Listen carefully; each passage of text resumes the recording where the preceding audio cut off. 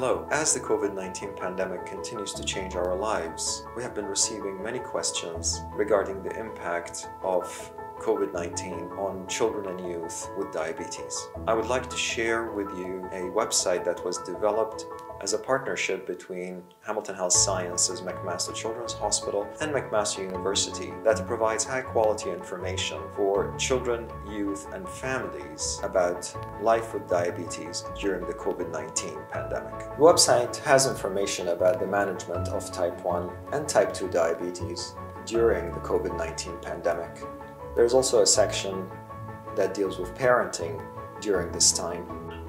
In this section, there are also information that parents and caregivers can use to spot stress in children and to provide support to them and talk to them about COVID-19. There's also a section that deals with the prevention of the spread of the virus. It contains information about physical distancing, covering coughs and sneezes, and the use of masks. And there is a section on the website that addresses the maintenance of a healthy lifestyle and emotional and mental well-being during this time. In this section, there's also lots of information related to fun and educational activities that family members can engage on while we're staying indoors during this time.